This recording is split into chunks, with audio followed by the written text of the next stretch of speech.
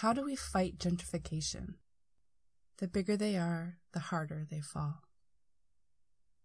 There are fights it is impossible to win and impossible to avoid. Gentrification is one of these. It is a ceaseless earthquake, breaking up communities, shaking us from one neighborhood to another, or into outright homelessness. The ones who take our place face the same fate in our wake. We have to reimagine these defensive struggles as offensive initiatives. That's the only way they could turn out to our advantage. What could we gain in fighting, even as the ground is snatched from beneath our feet? How could these losing battles position us to take on the structures that produce gentrification? Prologue Setting Our Priorities Gentrification is one of the most pressing issues facing anarchists in the U.S., and one of the most paralyzing. All around the world, people are being forced from their homes by the rising cost of living as development changes the character of neighborhoods. We often find ourselves swept up in this process, displacing poorer people with less racial privilege, only to be pushed out ourselves when the next wave hits. For more and more of us, engaging with this topic is not a choice, but a matter of survival. Essentially, gentrification is the process of the rich getting richer and the poor getting poorer, embodied in real estate. It's produced in part by the asymmetrical dynamics between race and class. For example, when poor white people pave the way for middle class white people in formerly non white neighborhoods, though the same dynamics can play out between other demographics. Gentrification is polarizing because it can reveal real differences in goals and strategy about the most controversial issues of our time race and class, leadership, and autonomy. One common response is a sort of consumer politics. We blame those who move into neighborhoods that are, quote, not theirs. But this focuses on the last stage of the process, not the forces driving it. What do we expect renters to do if they can't afford to stay in their previous neighborhoods? Should poor white gentrifiers work higher paying jobs so they can afford to stay in predominantly white neighborhoods? Setting aside the question of whether that would be desirable, it often isn't even possible. Much anti gentrification rhetoric implies a static notion of community, something monolithic and changeless. But not even the ecosystems that were here before the first cities were static. A narrative of mere conservation is reactive and doomed to fail, especially in our era of maximum fluidity in circulation. Change is inevitable, and categories of who belongs and who doesn't should be anathema to us. We need a more precise way of framing what is destructive about imposed development, and to juxtapose a transformative narrative of our own. In short, we can't halt the effects of capitalism simply by pitting moral imperatives against economic pressures. To put a stop to gentrification, we would have to abolish capitalism itself. Instead, let's begin by asking what we hope to get out of gentrification struggles, in hopes of formulating a strategy that is offensive rather than defensive. Here are some possible goals around which an anti gentrification struggle might cohere. We might seek to memorialize what is being destroyed. For example, by creating memory projects or museums about the former inhabitants and character of the neighborhood. Frequently adopted by non confrontational initiatives, this approach at least acknowledges gentrification. But without an emphasis on ongoing struggles, it can promote resignation rather than resistance. For people with comparative racial and class privilege to support the initiatives of those who have less, this often takes the problematic form of accepting the leadership of recognized community leaders who don't necessarily have the same interests as less influential locals. Supporting the initiatives of those who are not positioned as community leaders can bring all sorts of messy internal conflicts to the surface, which may be a good thing. To prevent the displacement of the most vulnerable inhabitants, or else the original ones who may not be the most vulnerable to slow or freeze development. This could dictate a legalistic strategy or a confrontational one, according to circumstances and the politics of the participants. Like the former goal, this is comparable to environmentalists trying to save specific areas of wilderness. With a great deal of effort and leverage, it is sometimes possible to win concessions from corporations or the state, though these are usually temporary, and the consequence is often that development simply intensifies elsewhere. To get revenge upon developers, as an end in itself. To build ties on the basis of the struggle against gentrification. This is worthwhile, although there are obvious structural challenges in seeking to found connections on the very process that is breaking up and dispersing a community. To connect struggles over housing and land to other struggles relating to work, environment, or public space. This could mean intensifying the general hostility towards policing and surveillance in embattled neighborhoods, or fostering hostility to developers and landowners in such a way as to build support for autonomous spaces and infrastructure such as occupied gardens, social centers, or housing complexes. To set precedents for struggle that can be inspiring wherever gentrification is taking place, such as developing practices of autonomous communal assembly and decision making, or popularizing specific offensive tactics. Selecting from and adding to this list might help anarchists to evaluate their effectiveness and chart a course consistent with their long term strategies. In the following story, told from the perspectives of five participants, some anarchists in a gentrifying neighborhood set out to fight the most egregious development project by any means necessary. Pyrrhic Victories Small town anarchists take on green capitalist developers. A story in five voices. Chapel Hill is a medium sized college town nestled between bigger cities in the central Piedmont of North Carolina. It has always had a modest reputation for radical politics, and over the past decade it has become a local hub of anarchist activity. Meanwhile, facilitated by the influx of student loan money, property values have risen more quickly in Chapel Hill than the surrounding areas, steadily forcing out the town's poor and black populations. The following story was just one in a series of space oriented conflicts in which anarchists have participated. It was preceded by a multi year showdown with town officials over use of the so called town commons for monthly really really free markets. See Rolling Thunder number 4. And followed by high profile building occupations around the Occupy movement of 2011 to 2012. The North Side neighborhood in which the action takes place is less than a mile from the university, Marshall Street. May 2011. I wake up to strangers' voices. Someone is in our house. It's the people from the rental company. They're showing it to potential buyers. They didn't warn us, didn't knock, just let themselves in. I have no recourse. My name isn't on the lease, and we're over permitted occupancy. I should be driving them out, and instead I'm trying to figure out how to hide the fucking cat food bowl without being seen. My ex and I were already kicked out of one apartment complex in this town for being one tenant too many. Like so many other poor people in this country, I can't afford to invoke my legal rights. Most of the other renters I knew on the street are already gone, forced out by landlords eager to take advantage of soaring real estate values. The first ones to go were the black families. Now, poor households of predominantly white folks are disappearing. This neighborhood is called Northside, it was built a century ago primarily to house black service workers at the nearby university. During segregation, it was a center of black culture and economy.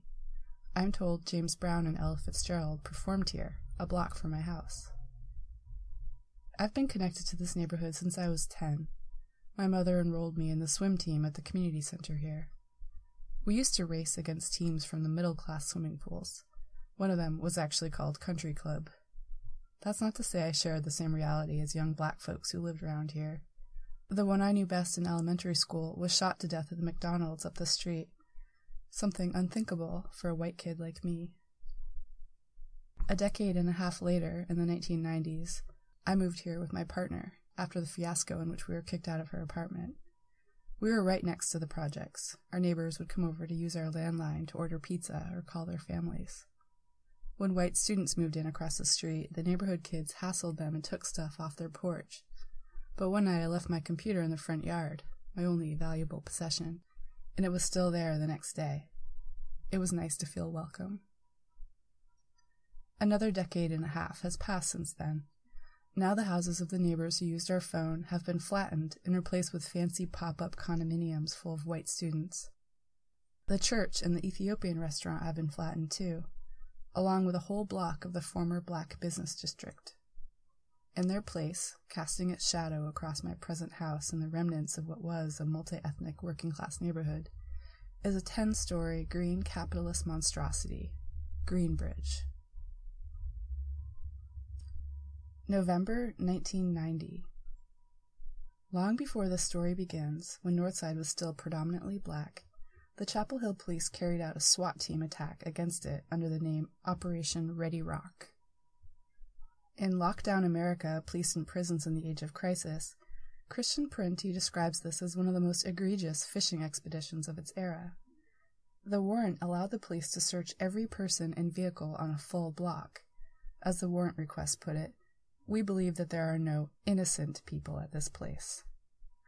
Dressed in combat boots, green camouflage battle uniforms, body armor, hoods, masks, goggles, and Kevlar helmets, 45 officers, armed with a wide array of weapons, stormed the block from all directions, cutting off every path of escape and combing the area with drug sniffing dogs.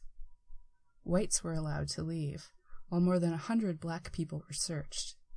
SWAT commandos smashed in the front door of a pool hall and forced the occupants to the floor at gunpoint. While the captives were searched and interrogated, the bar was ransacked. The commotion left one elderly man trembling on the floor in a pool of his own urine.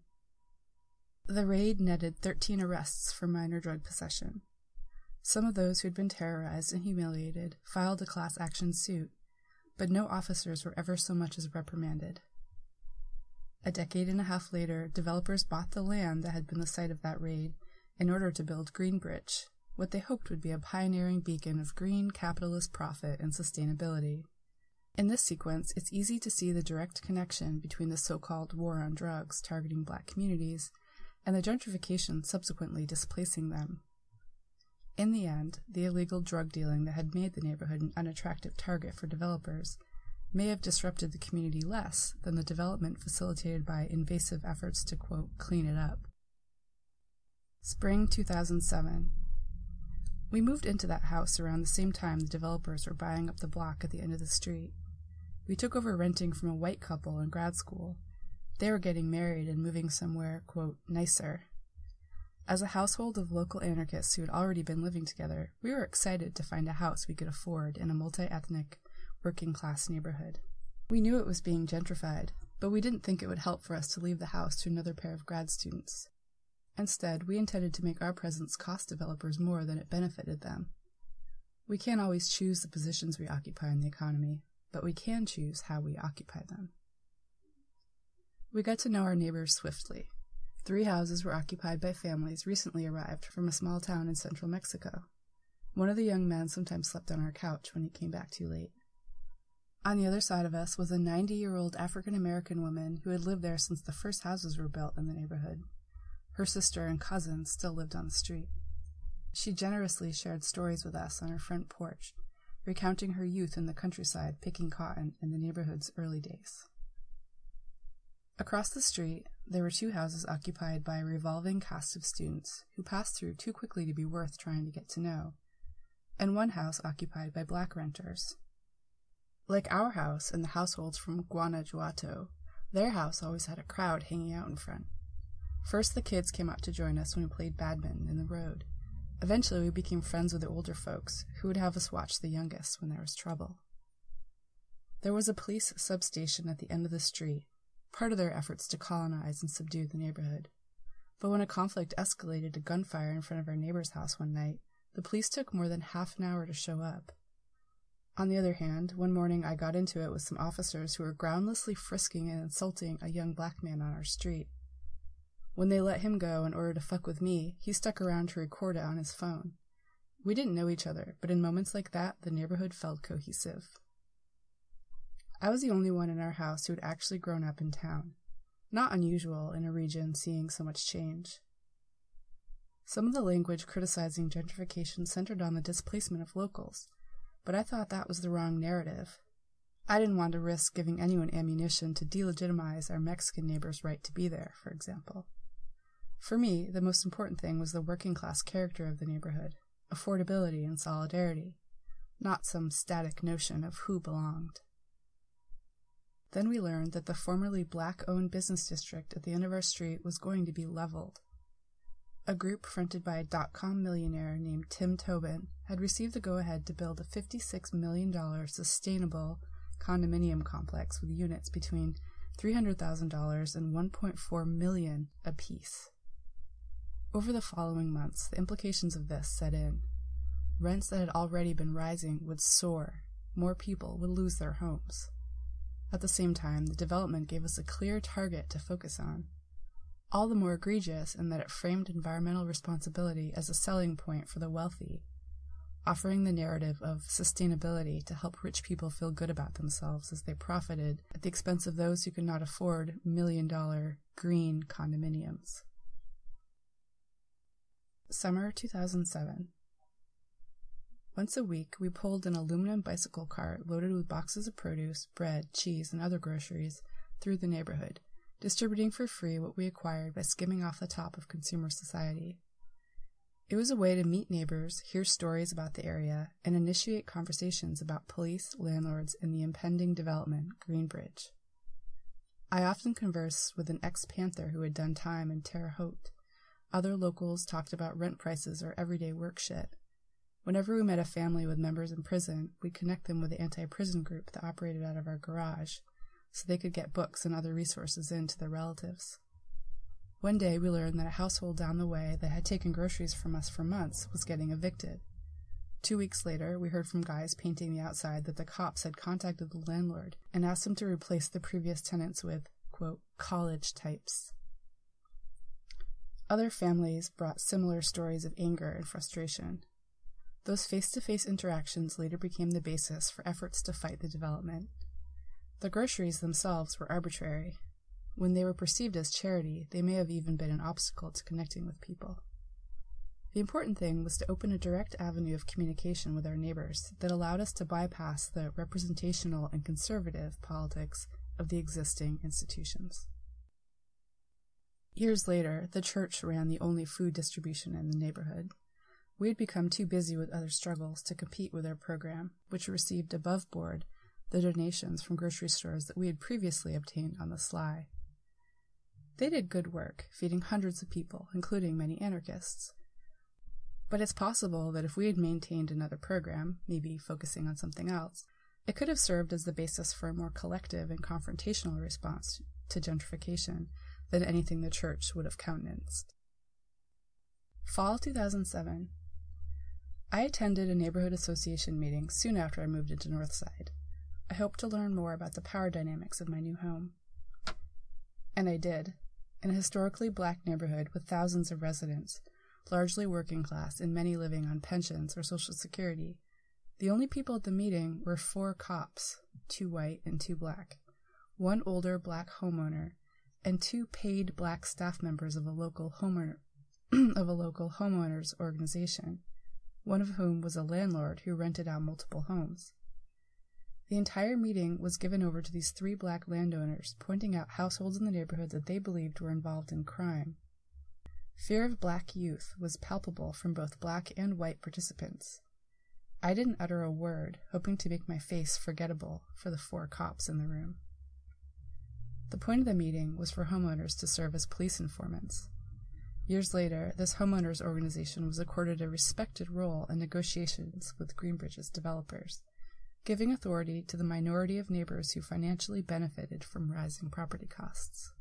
The landlord behind the nonprofit saw herself as having good intentions. Her organization assisted black families in becoming homeowners in order to maintain an African American presence in the area she wanted the neighborhood to become prosperous. She was one of the first people to sound the alarm when the developers first bought the property to build Greenbridge.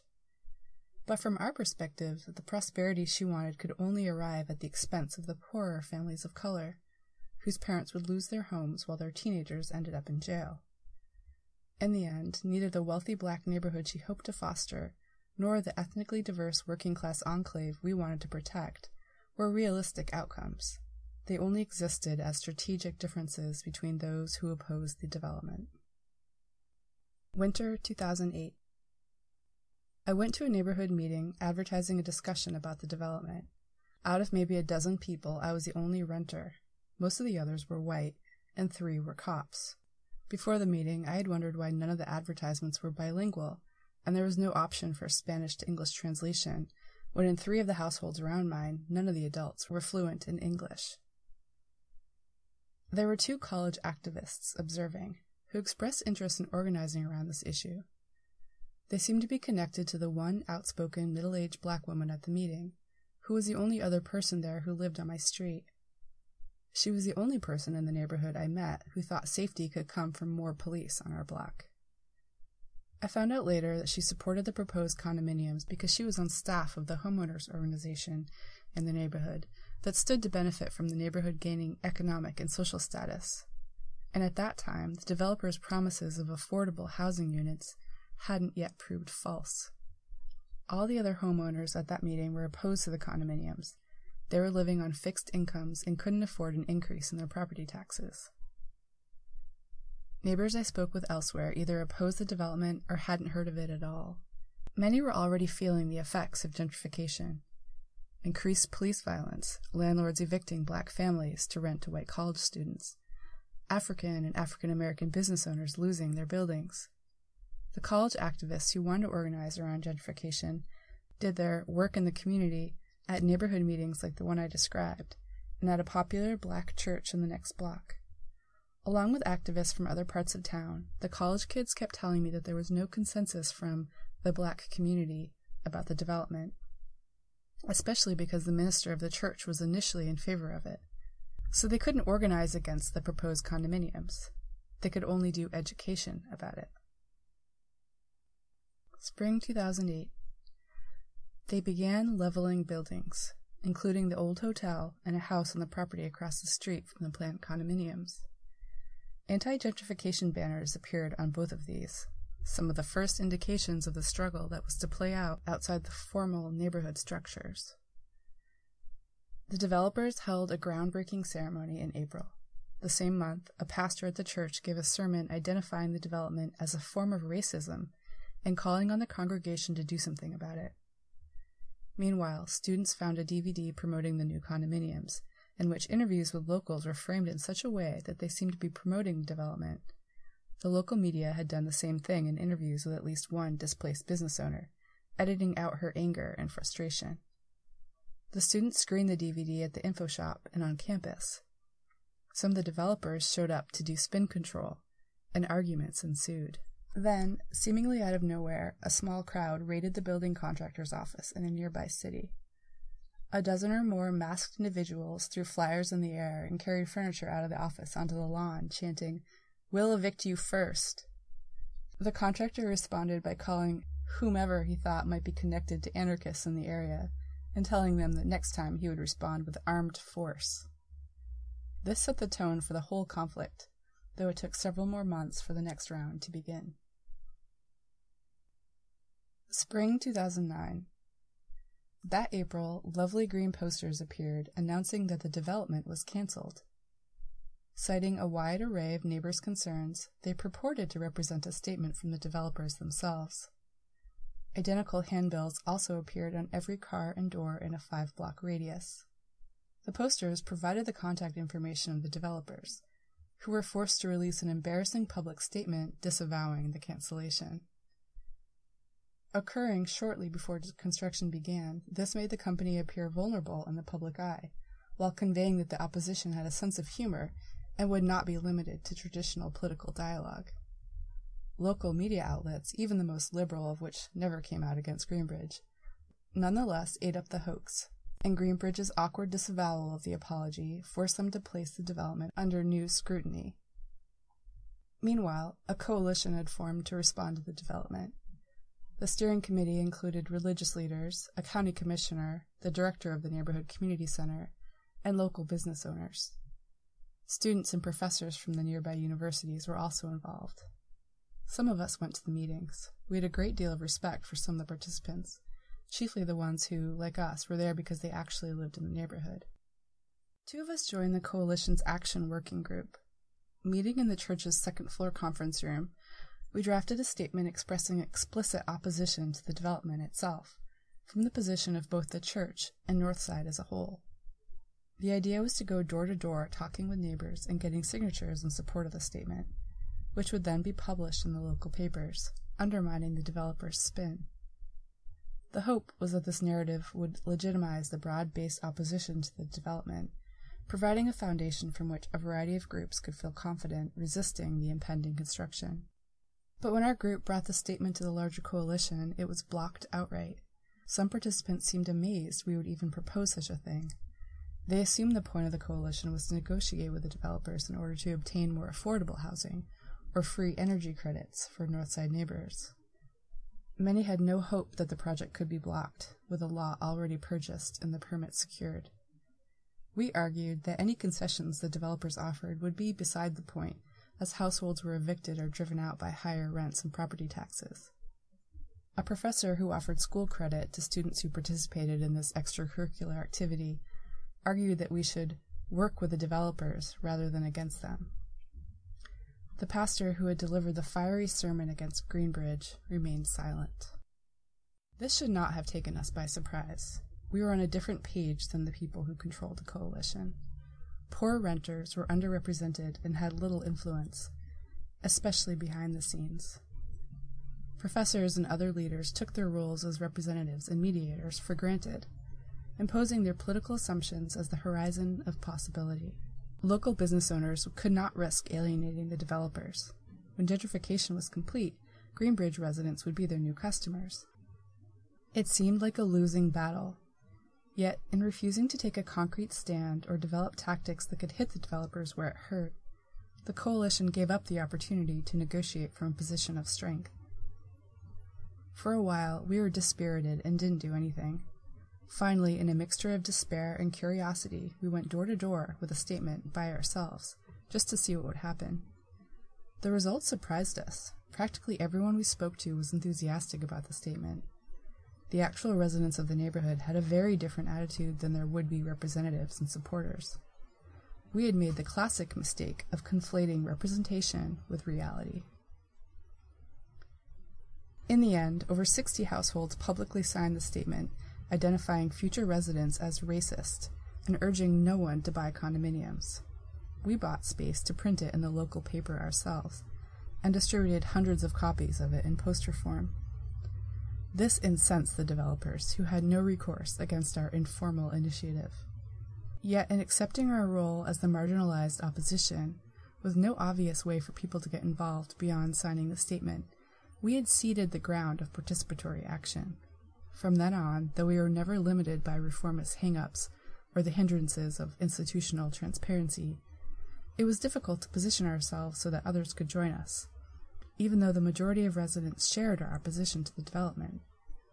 Without an autonomous neighborhood assembly or something of the like, withdrawing from the coalition was as much an acknowledgement of weakness as a principled stand or strategic decision. Two years later, with a wave of insurrections, occupations, and encampments sweeping the globe, this omission became obvious. Another slow summer afternoon staffing the info shop. I look up from my magazine to see an unfamiliar man walk into the store, eyeing the shelves only momentarily before striding up to the counter. He sports khaki shorts, a designer polo shirt, expensive sunglasses, and the falsely hearty, somewhat distracted demeanor of the rich and busy. I dislike him immediately, but this isn't just a subcultural space, so I try to avoid judging solely by appearances. Perhaps he's a wealthy liberal here for his copy of The Nation. But then I hear, in a nasal northeastern accent, I'm Michael Cucchiera. I'm one of the partners at Greenbridge. Are you fucking serious? This guy is a multimillionaire investor in the project we've been fighting for the last three years. He knows this is hostile territory. He must have some reason for being here. I clamp on my best poker face as he launches into a rambling story about how development is going to become a positive force in the community, including a litany of ill informed or blatantly racist remarks about the neighborhood as condos are gentrifying. He's droning on about the different businesses they're considering for the retail spaces underneath the condos and how they want to find ones that will be the right fit for the development in the neighborhood. When suddenly I realize where he's going. And since your bookstore has strong roots in the progressive community here, and Greenbridge wants to work with our community partners to make connections with other local interests, we want to see if you'd be interested in moving into one of our retail spaces. With a Herculean effort, I maintain a straight face as he lays out his pitch. 1,000 square feet of brand new space, tall ceilings, free reign to build and renovations, a 40 seat theater upstairs we can use for film screenings, flexible move in terms, and to top it all, an unimaginably cheap rent, probably half of the market value, with three years of rent control to ensure it stays affordable for us. It's a dream offer, the ultimate insider deal, unthinkable in the context of skyrocketing downtown prices. He must know that we're desperate to move out of our cramped, frequently flooding space, but can't secure any nearby retail space on our shoestring budget. We can't afford to expand, to move, or to stay. It's a catch 22, and here's the perfect solution. But what does Greenbridge get out of it? He's got some nice platitudes about how our missions are similar social justice, concern for the environment, but he doesn't have to say the obvious truth. They're looking to buy off the opposition.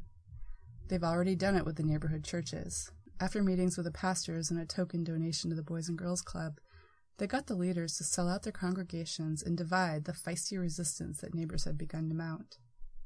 But the anarchist scene around this info shop has been implacable. We've hosted multiple anti Greenbridge discussions and organizing events, and were known as a beacon of intransigent opposition to development. When a bomb threat had been called in, halting construction, prompting panic among the developers, one of them had asked in desperation, Can't we go talk to someone at that bookstore and get them to stop this? So, what better way to neutralize an enemy and gain public legitimacy than by moving us in? And in contrast to the alternative proposal of a 24 hour mini mart, our disproportionately white project would attract what he referred to as the right kind of people. The developers were willing to sacrifice substantial retail space profit to enlist us in the process of gentrification. In one fell swoop, they could shut us up, appear progressive, and obtain a tax write off for offering below market rent to a nonprofit organization. That's a lot of birds to kill with one stone. I nod politely through our conversation as he yammers on about the supposed affinity between his green capitalist development and our anarchist info shop culminating in an anecdote about his recent trip to Iceland, where he spent a weekend in a cabin with the CEO of Walmart. I swear, I couldn't make this up. At negotiations about green standards for consumer products. Isn't it exciting not just to be outraged, but to be part of the solution? I don't know how much longer I can keep a straight face. Finally, he leaves me his cell phone number so that once I'd checked with the collective, I could call him to work out the details. Proffers a clammy handshake and plastic smile, and strides out, not pretending to take any interest in the merchandise, among which anti gentrification stickers and zines critiquing green capitalism feature prominently. Do rich people actually think that with enough money they can buy anything they want, even the loyalty of people that hate them and everything they stand for? I had learned two important things. First, they were so uncertain of their position and were having so much trouble leasing retail units that it was worth it to them to take a loss to placate us. Second, it never pays to behave. We were only being offered that opportunity on account of our uncompromising hostility. If we'd played nice from the beginning, we would have had no leverage. Only naive liberals think that you initiate negotiations by making concessions. Yet, even if we had wanted to cash in our white privilege and sell out our community, doing so would mean losing whatever leverage we had. There was only one path open war. Fall 2009. A tremendous crane hung over our neighborhood, the claw of doom. I passed under it every day as I left my house. I imagined climbing to the top of it, dropping a banner about gentrification, and locking myself to it. I imagined the shitstorm of controversy that would ensue as community leaders and millionaire investors tripped over each other to tell the media that I didn't represent the neighborhood. I tried to imagine where we would go when we couldn't afford to live in our house anymore, Later, when it was too late, I learned that others had fantasized about doing the same thing. Winter 2010. In January, vandals hit the building site. Police reported that they spray painted 14 concrete columns, 21 walls, 5 doors, and a forklift, for a total of $11,000 damage. The paint was cleaned up immediately, and local media declined to report what it said, although one paper quoted a local who had seen Greenbridge is racist, painted there the previous year. Rumor had it that the developer's offices down the street had also been attacked. In February, someone called in a second bomb threat, interrupting construction again. A local puppet troupe reworked Hansel and Gretel as an allegory about the developers. The letters section of the local paper was full of debate. Defenders always insisted that gentrification had been going on in the neighborhood for decades already, as if Greenbridge wasn't exacerbating the process. Seriously, is it okay to kick someone just because he's down? There was a deep cultural gulf between the mayor, the developers, and the community leaders who wielded legitimate political power on one side, and the disillusioned, disenfranchised, and vulnerable on the other. No one thought Greenbridge could be stopped, let alone that stopping it would halt gentrification. But we knew what side we were on, and we weren't going to go quietly. In those days, you could walk around town and pick out Burn Greenbridge graffiti every few blocks. Posters appeared regularly on the walls decrying gentrification. There was a whole series urging action against anyone who bought one of the condominiums. Some posters were numbered, number 32 of 1000, perhaps after the example of Abbie Hoffman, who reputedly released two pigs into a department store painted number 1 and number 3. We sighted men in khaki pants going around town blacking out anti gentrification posters and graffiti with spray paint.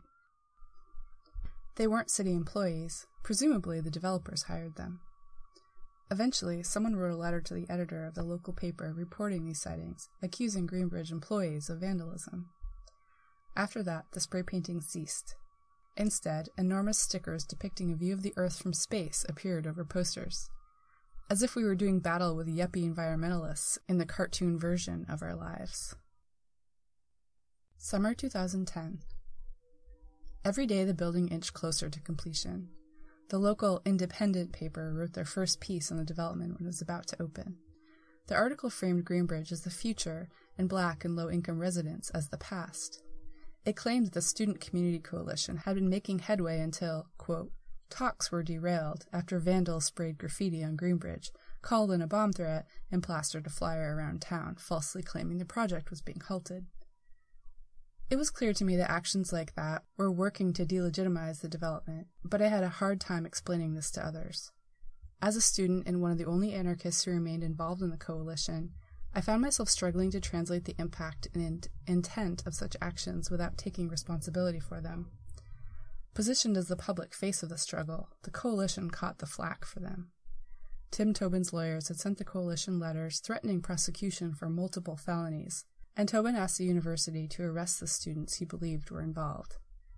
Indeed, I was arrested soon thereafter, though for something apparently unrelated. The response within the coalition made it clear how scared people were of the developers. By summer 2010, I had finally left the coalition myself unable to stomach the internal power dynamics in liberal politics. Meanwhile, the coalition was turning away from organizing against Greenbridge. With the buildings nearing completion, why continue to fight? In some ways, everything had played out like a caricature. On one side, a well organized official group had gathered large numbers to talk and talk, making paltry requests the developers had no reason to honor. On the other side, secretive individuals had succeeded in ruining the development's reputation, but failed to turn those isolated actions into momentum that brought more people into the struggle. In public, anarchists made very clear what we were unwilling to do attend meetings, ask for concessions, accept Greenbridge. But it was harder for us to articulate what we were willing to do. Wanting to stop Greenbridge seemed to many people like wanting to prevent the tide from coming in. We needed to make it feel worth the effort. We needed to win something, or to be more fun, or have stronger relationships. Because so many of our actions had to be covert, we could neither defend them in the media or to other participants in the struggle, nor use them to position ourselves as real actors in the fight. Nonetheless, there was a strange interplay between the coalition and the other individuals opposing the development. The size of the coalition and the reputation of some of its members brought the struggle into the public view in a way we might not have been able to accomplish on our own, while covert actions pushed the struggle further. Despite the tensions, these forces had worked in concert. Yet when I moved away from Chapel Hill, out of my home on the block that now lay in the shadow of Greenbridge, I felt we had lost. All 2010. The building was completed that summer and people began to move in. We only saw them when they went out to walk their dogs. They mostly stayed inside their fortress. They even had a parking garage in the basement so they could go directly in and out without any danger of running into us. Many of the black renters we'd known were gone, but there were still a couple houses of predominantly white anarchists left. We had instinctively adopted a strategy of trashing that I'd seen in other embattled neighborhoods. The idea is that, paradoxically, the only way to protect your neighborhood from gentrification is to wreck it.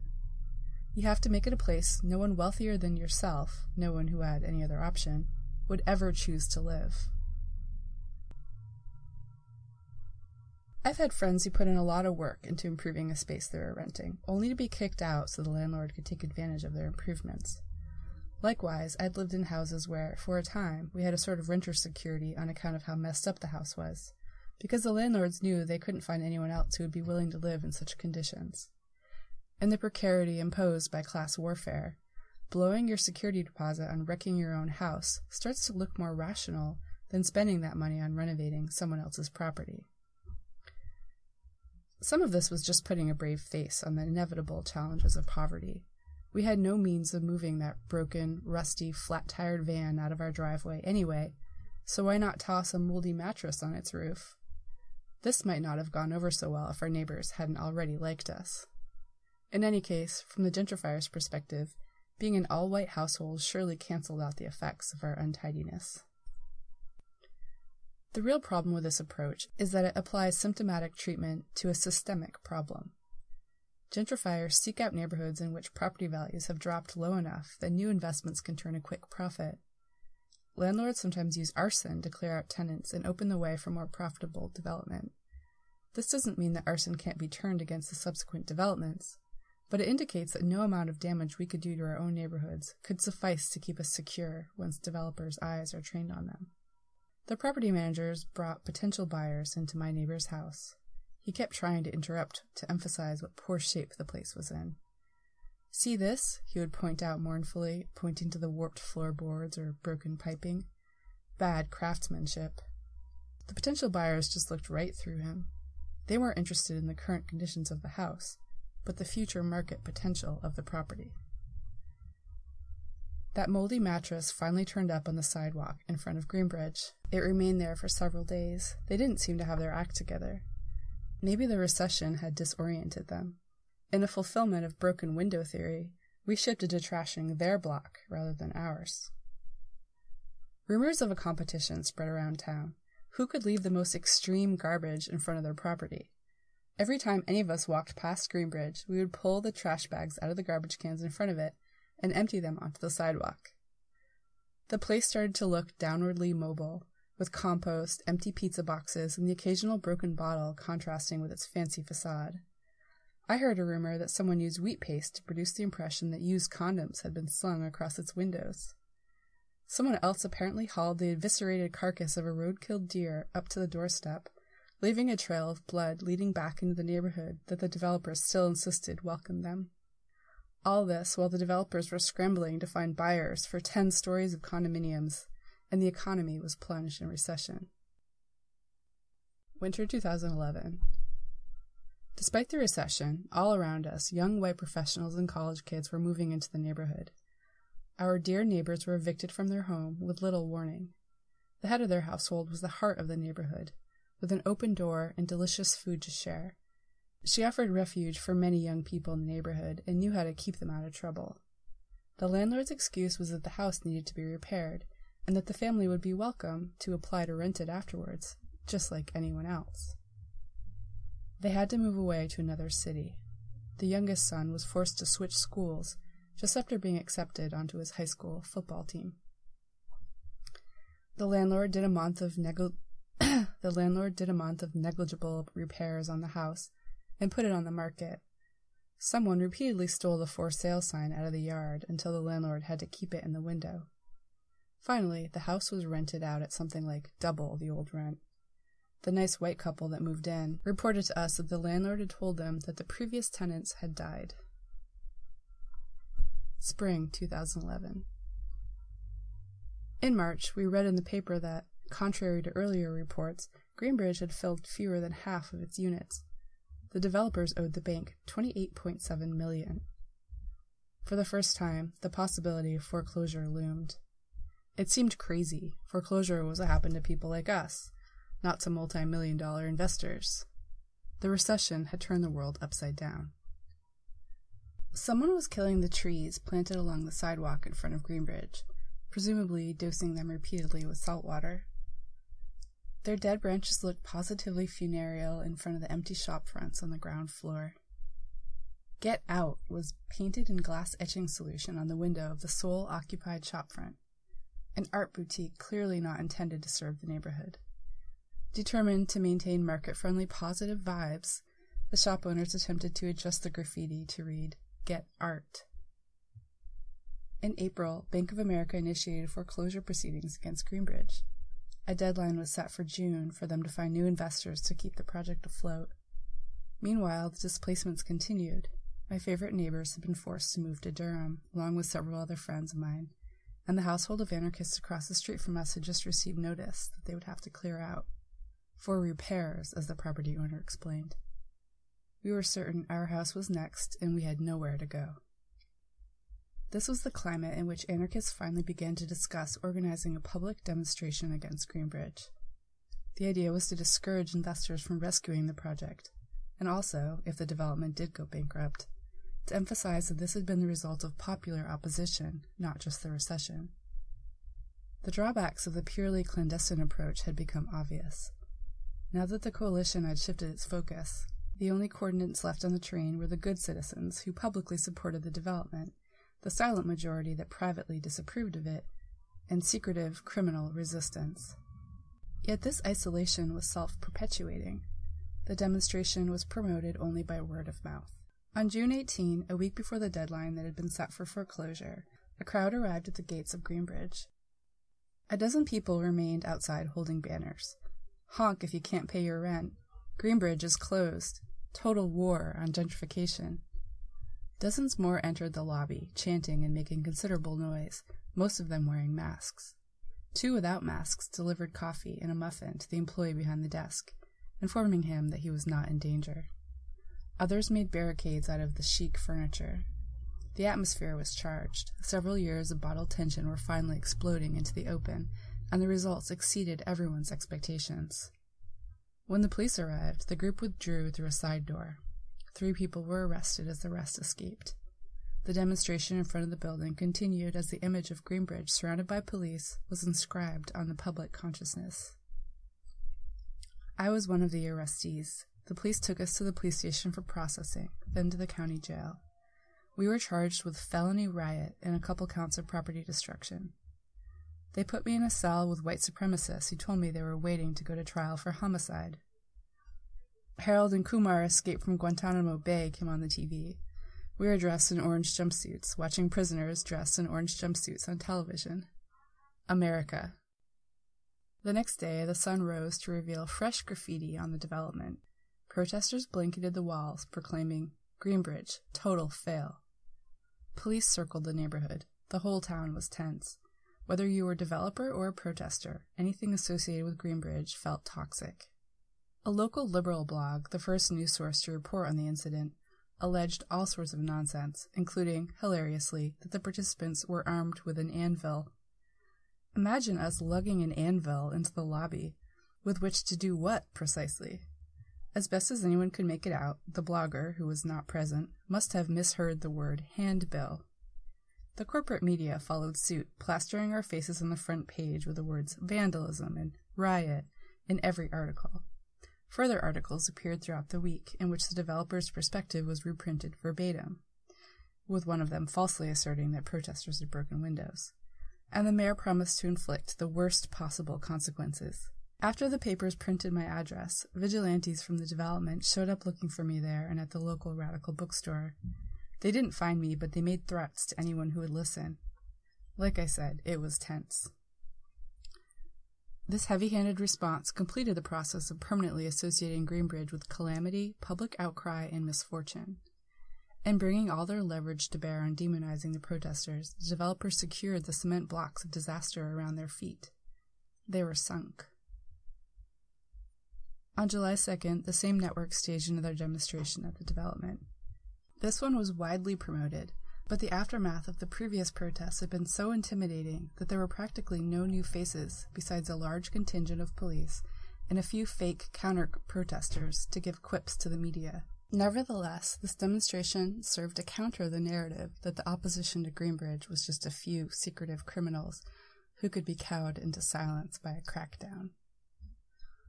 Although open protests had been effectively marginalized, there was more neighborhood support than many of us feared in the paranoid days immediately following the arrests. Many residents understood why people would go in and tear up the development.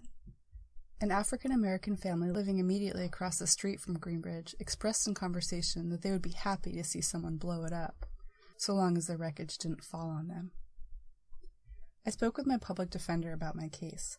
Since I had not been masked and had done nothing more than reassure the concierge, I'm not in danger, he had reported on the 911 recording. They're being very polite to me.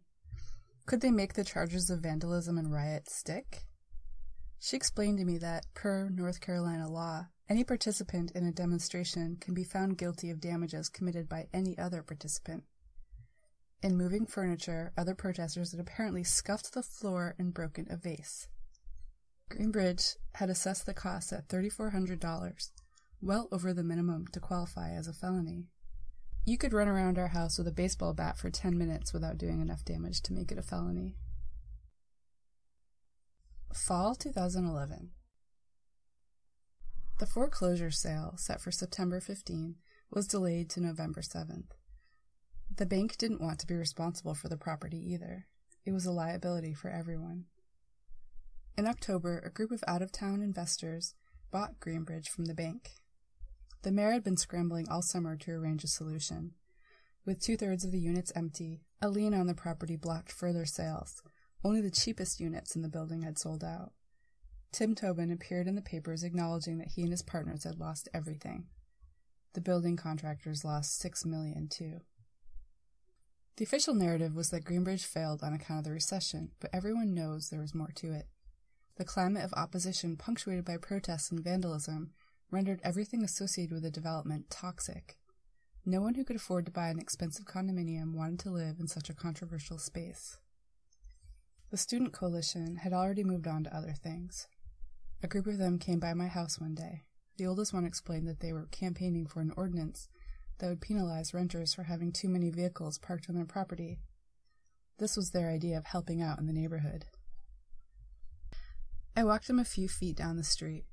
Look, I said, pointing at the house my Mexican neighbors rented next door, out of which they ran their painting business. How many vehicles do you see parked there? Six, seven, he admitted, waving the younger volunteers on so they wouldn't hear our conversation. And who do you think that ordinance is going to be used against if you get it passed? Just white students? He mumbled something about how it wasn't perfect, but it was important to help locals with their initiatives. Motherfucker didn't even live in our neighborhood. Winter 2012. Greenbridge sat dark and empty at the end of our block, a hulking monument to hubris and failure, something out of Shelley's Ozymandias. The dead trees planted in front of it had been cut down, leaving only stumps. I was the last of our original household left. The other household of anarchists had been pushed out for repairs. Like the black renters I had known, their houses all reopened without significant changes, but drastically more expensive. The only survivors of the neighborhood that preceded our arrival were black homeowners like my neighbor, who was over 90 and wouldn't be there much longer. The neighborhood only looked like its old self when all the former residents returned to the church for funerals. Our long war with Tim Toben ended with a surreal twist. On December 1st, the bankrupted millionaire ran an editorial in the local paper entitled, Time to Take Direct Action. After the failure of his green development scheme, he had read Derrick Jensen's book, Deep Green Resistance, and changed his tune. Quote, I agree with Jensen that all options must be on the table. The mainstream environmental movement has failed to slow the industrial juggernaut that puts our planet and the children of all species in peril. It is time for direct action of every type, and it's encouraging to see more and creative uses of civil disobedience. We are in financial, social, and ecological crisis, and I'm grateful to all who are willing to take risks of every sort to fundamentally alter America's direction. Anarchists read this in disbelief. Some still dealing with the legal repercussions of engaging in direct action against the gentrification of Northside, for which Toben remained unapologetic. But it was no fluke.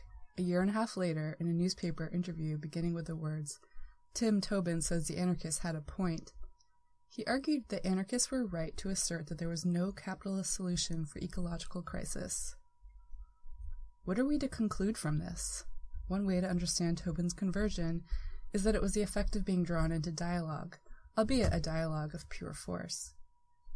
He who does battle with monsters should take care lest he become a monster, as Nietzsche put it. Something similar arguably happened to the liberal journalist Chris Hedges, whose vituperative attacks on black bloc anarchists in the waning days of the Occupy movement occasioned a great deal of outrage.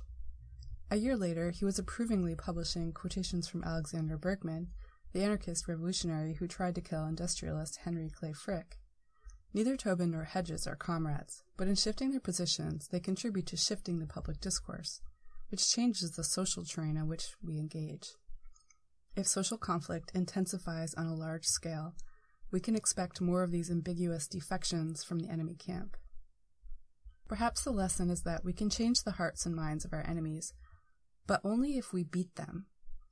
Had Toben's development succeeded, he would never have had any incentive to reconsider his politics. Summer 2012. My last week on the block, as I was lugging things out into the U-Haul, people from the neighborhood kept coming by to tell me how much they would miss having me around. That felt good. We'd made a lot of enemies during our years there, but only in high places. After the rental agency forced us out of our house, they cut down the last trees on the property.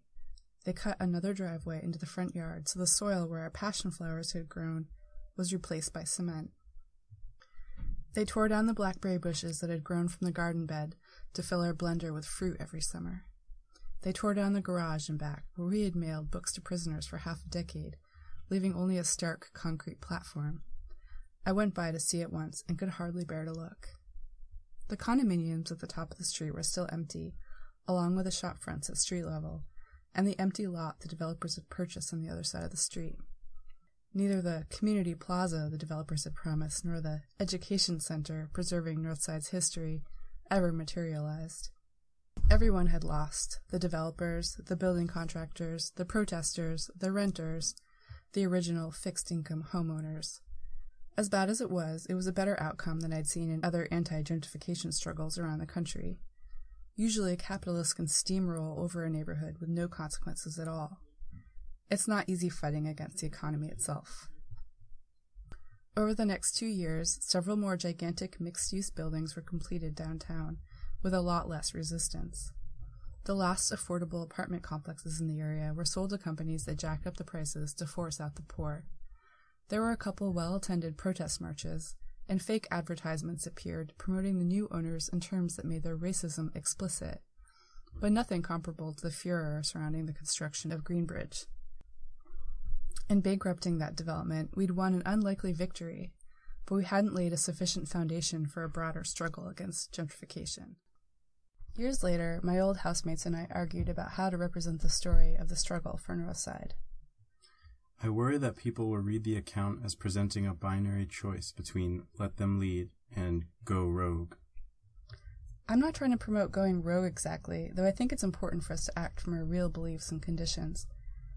If you want to support the initiatives of those with less leverage, don't start with community leaders. Start with those who are most overlooked.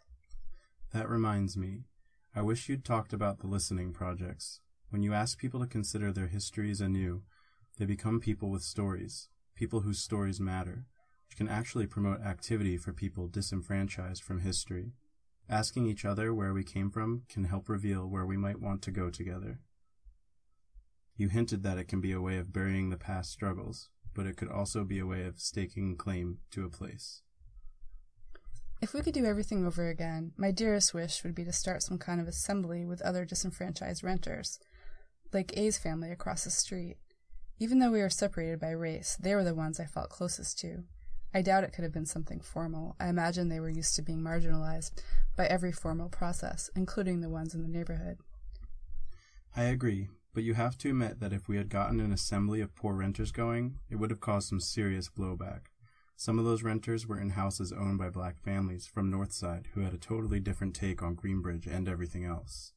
Like one of the ways I played my position on that block was by representing the problems A's family faced to L's family in the best light, since there were connection between L's family and the folks who owned the house A's family rented. When the pigs were all up in A's driveway, I had to go explain that it was because someone had a taillight out. That was me being a white ally. L's daughters trusted me more than A's family. Isn't that some shit?